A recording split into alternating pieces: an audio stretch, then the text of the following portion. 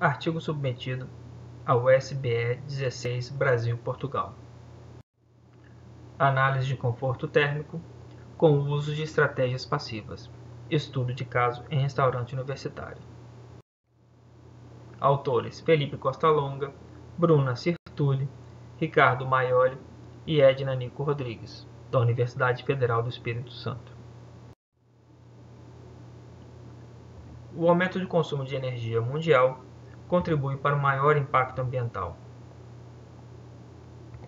E uma das formas de reduzir esse impacto é através da adoção da arquitetura bioclimática.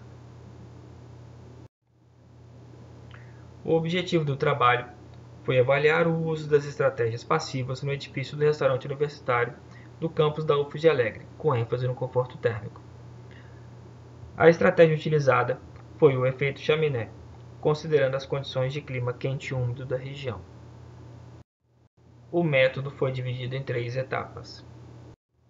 Definição das soluções construtivas para análise comparativa, convencional, com aberturas laterais e uso combinado com lanternim, efeito chaminé. Caracterização do modelo, propriedades dos materiais e o período das simulações com Software Design Builder e simulações com utilização de metodologia proposta por Nico Rodrigues para avaliação do desempenho térmico de ambiente ventilado naturalmente, com ênfase no conforto térmico, utilizando os indicadores FDT, frequência de desconforto térmico, e GHDT, graus horas de desconforto térmico. Como apresentado no diagrama de flutuabilidade, os resultados obtidos para todos os meses mostraram uma maior eficiência do modelo simulado com Lanternin.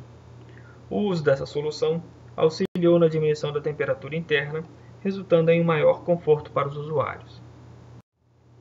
Através do diagrama de flutuabilidade, os índices de FDT e GHDT analisados determinaram áreas com variados níveis de conforto para os usuários. O diagrama de flutuabilidade mostrou que o uso do lanternim proporcionou maiores períodos com desconforto térmico.